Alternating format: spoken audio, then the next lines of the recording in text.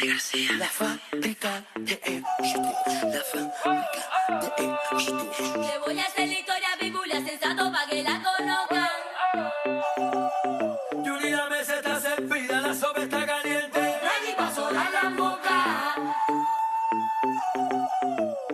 Mister todo el mundo, El taxi. sensato del patio.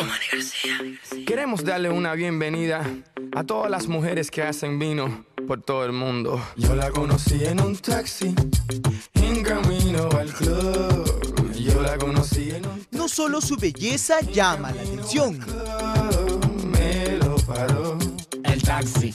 me lo paró. El taxi. sino también sus escándalos, aquella que la ubican como la manzana de la discordia en innumerables relaciones. ¿Tú crees que la gente habla de pura envidia? Que todos esos comentarios que se dicen en la calle o en las esquinas son comentarios, bueno, quizás no son gratuitos o son gratuitos para ti. Si la gente se rasca, es porque les pica, ¿no? Nada más que decir. Nada más que decir.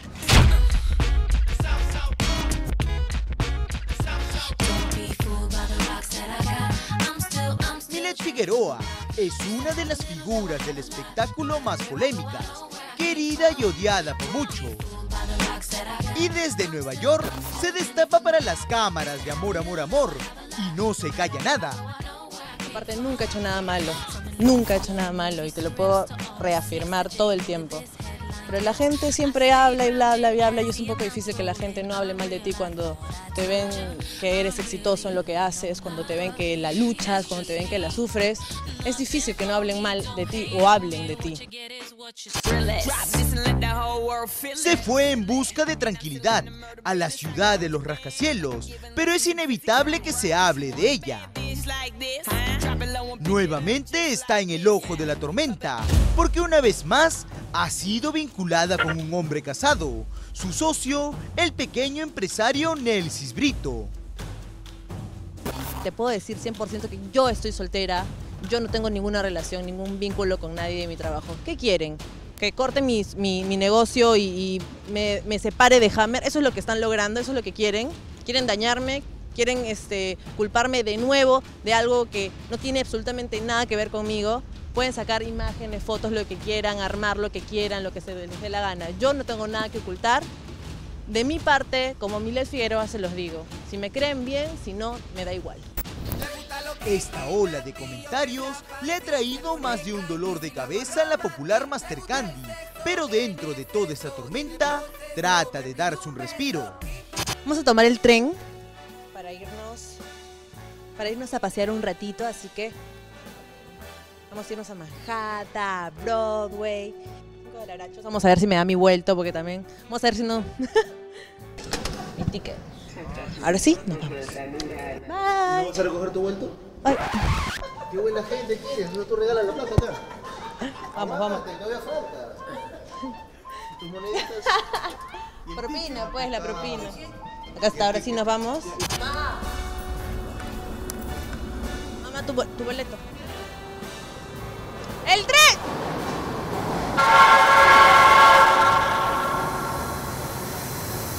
¡Suban, suban! ¡Vámonos, vámonos! Boleto. ¡Ticket, el ticket! ¿Dónde está?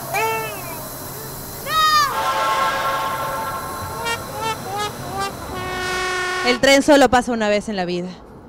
La verdad que yo no dejo de tener admiradores ni en Nueva York. Así que ese gringo me está mirando hace rato.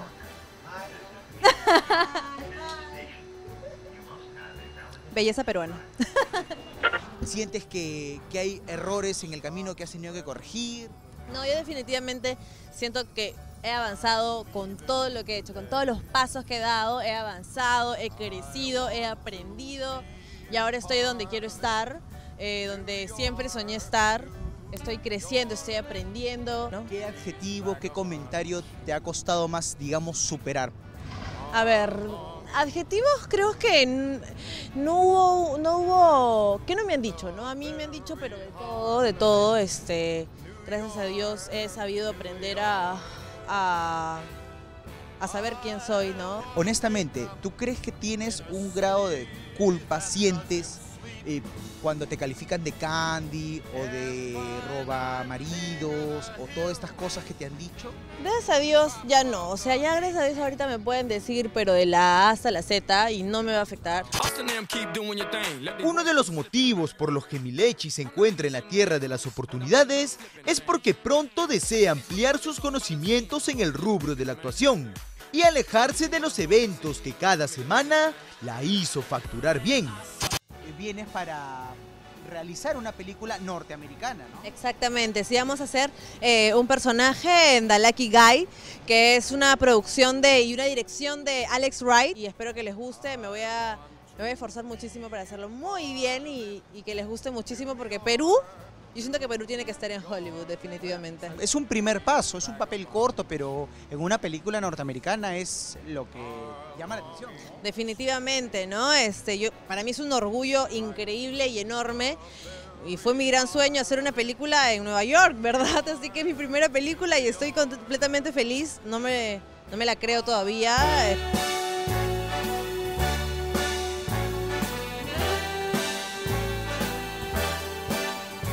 Rodrigo, estamos en el Madison Square Garden, que aquí no solamente se realizan actividades deportivas, sino que también en su gira mundial empieza su gira YouTube, nada más y nada menos que esta banda mundial que es tan conocida, así que vamos a entrar un ratito para ver, para ver qué tal. Vamos. to be a part of it.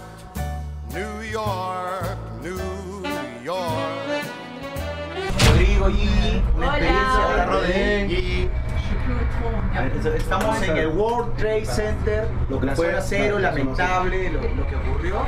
Vamos con Milet a conocer. Se me taparon los oídos, se me taparon los oídos.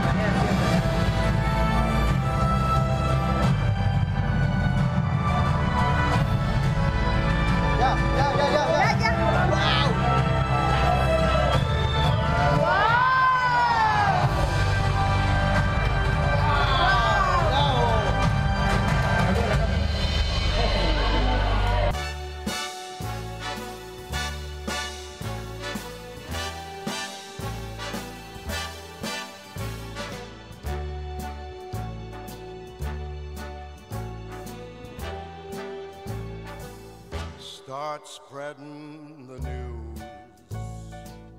I'm leaving today.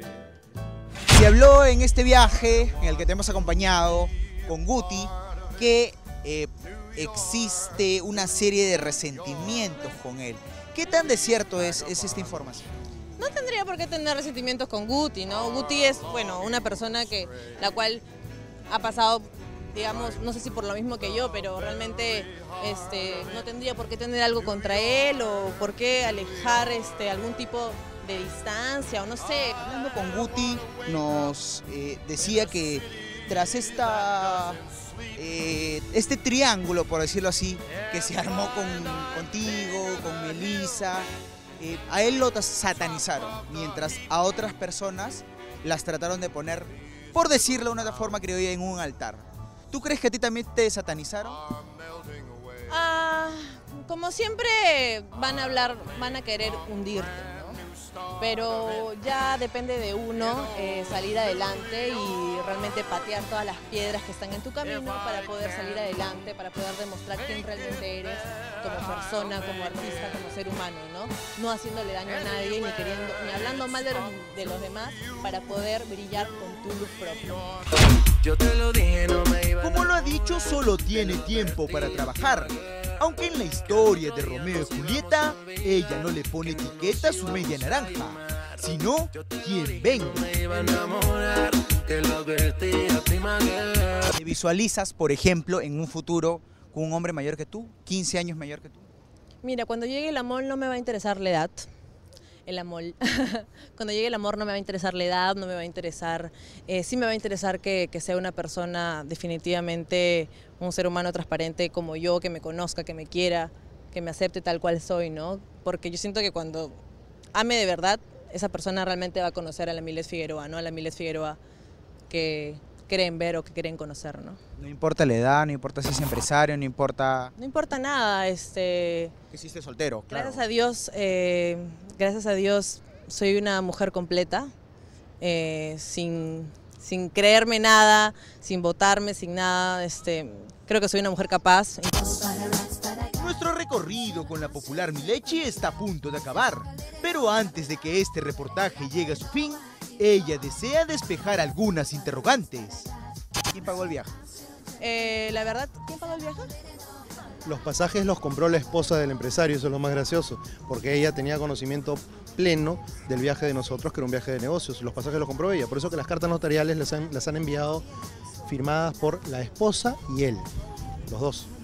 O sea, ha- hay una demanda Como detrás de como, como verás, mi hermano sabe más que yo porque él es el que se relaciona más con, con el socio, ¿no? Pero realmente me da, me da, me da cierta gracia y, y- y cierta también frustración que la gente, bueno, eh, a veces le quiera malinterpretar las cosas. Milet, ¿vas a seguir trabajando con este empresario Por supuesto, voy a seguir trabajando con quien yo crea conveniente, sin importar el que dirá? Sin importar el qué dirán, porque yo no vivo de la opinión de la gente. Nadie vive de la opinión de los demás. Tú vives de la opinión de los demás, yo no vivo de la opinión de los demás. Nadie vive de la opinión de los demás. Imagínate si yo viviera de la opinión de los demás. Imagínate dónde estaría el día de hoy. Gracias a Dios ahorita estoy viviendo feliz, tranquila, contenta. Le agradezco a toda esa gente que me deseó bien o mal, porque en alguna u otra forma ha hecho, me ha hecho también llegar a donde estoy.